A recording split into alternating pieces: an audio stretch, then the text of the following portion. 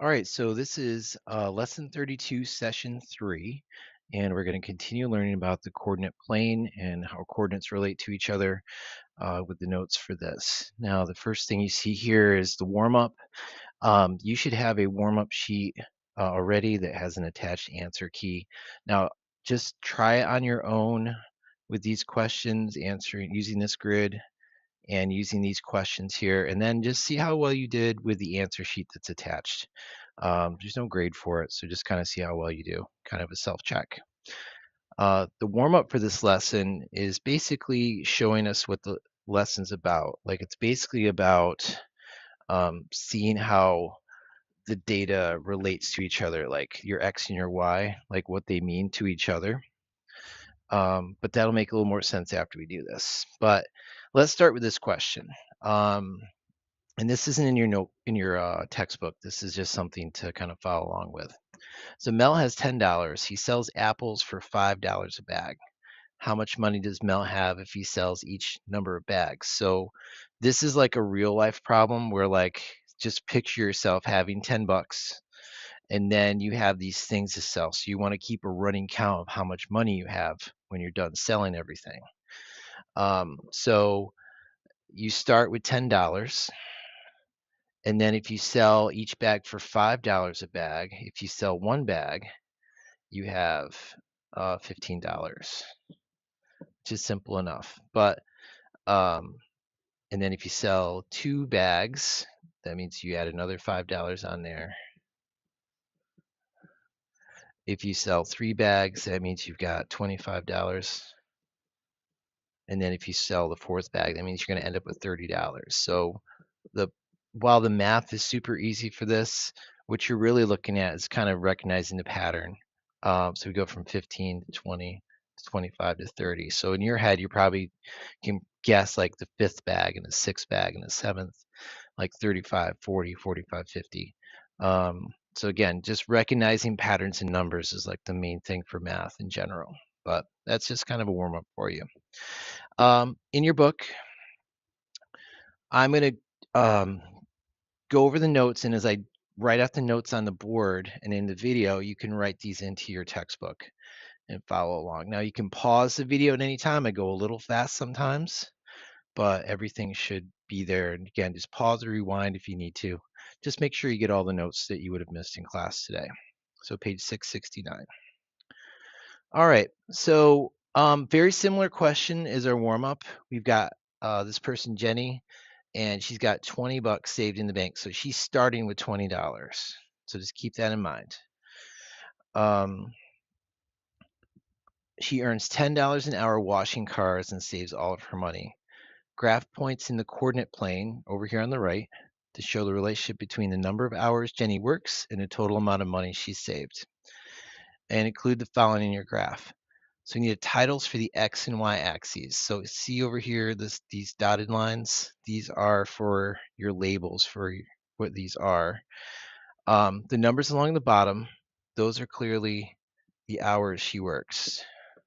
So go ahead and write hours in there. And then over on the left-hand side, let's just call this money. We're to keep things really simple. So the y-axis is your money, the x-axis is your hours, and anything in the grid is a running total of how much money you've got.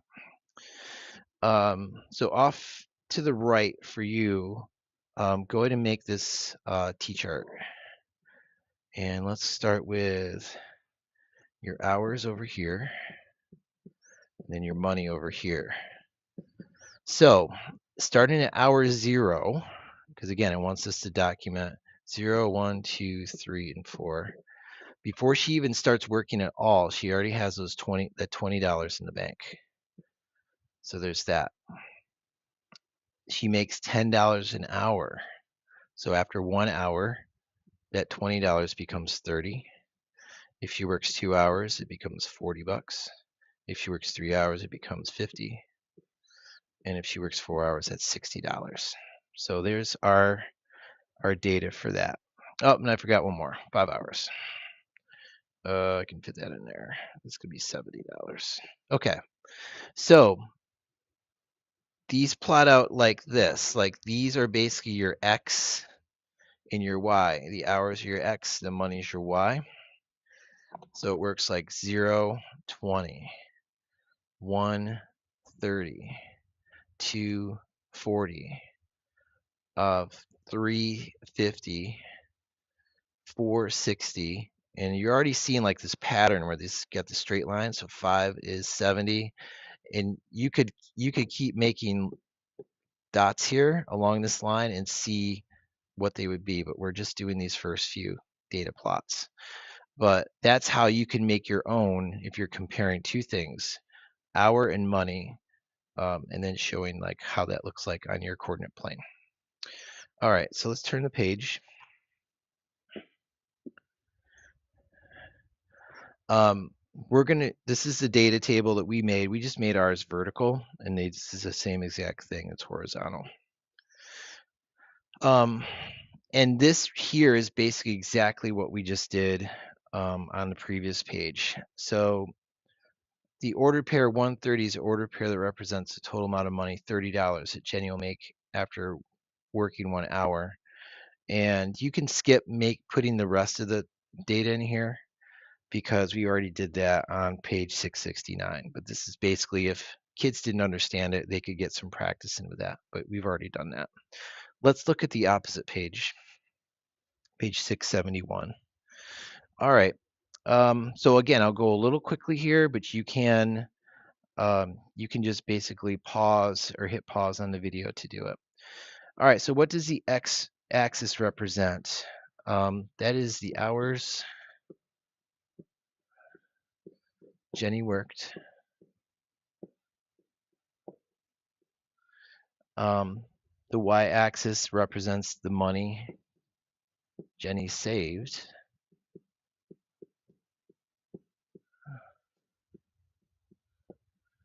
And complete these ordered pairs where X is the number of hours Jenny works and Y is total money that Jenny saved. So at zero hours, it was 20 bucks she had.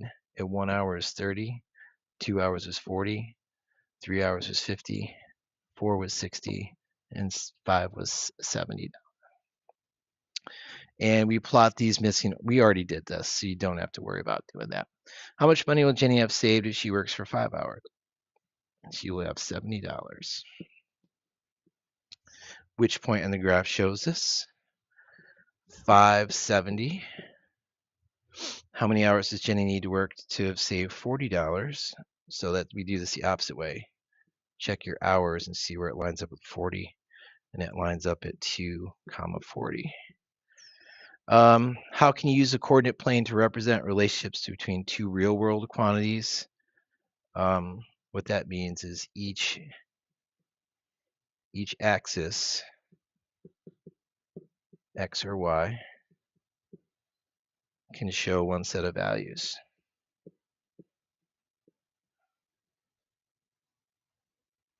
Yeah, sorry again if I'm going too fast. But again, just hit pause if you need to. All right, you can skip six and turn the page. I want us to do a couple practice problems to make sure we're ready. All right, Ferran works in an ice cream store. He uses two scoops of ice cream for each ice cream cones he sells. Underline that because that's the main idea right here. So for every ice cream cone, you're going to see two scoops on it. Um, so let's fill in this uh, table down here because all that information is going to help us with this. Um, so we're going to compare ice cream cones and number of scoops.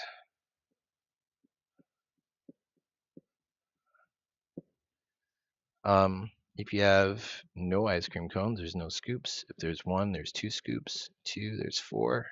Three, there's six. Four, there's eight. You can see the pattern right there. Um, your x-axis is going to be your cones. Your y-axis is going to be your scoops. Okay, so let's graph these. So again, these are the ordered pairs, 0, 0, 1, 2, 2, 4, 3, 6, and 4, 8. So I got 0, 0, 1, 2, 2, 4, 3, 6, 4, 8. I've got those graphed right there. question eight. Uh, use the table and graph in problem seven. Where would you put a point on the graph to show how many scoops of ice cream used for five cones? That's easy. It'd be five scoops, or five cones would be 10 scoops. Um, five cones equals 10 scoops. And that's what it would look like. So basically, you would just go one additional spot. And this last question, multiple choice.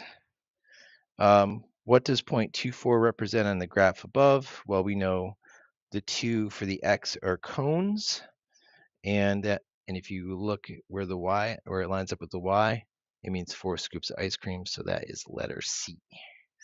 So not too difficult, um, but it's really great warm up to get you ready for today's IXL.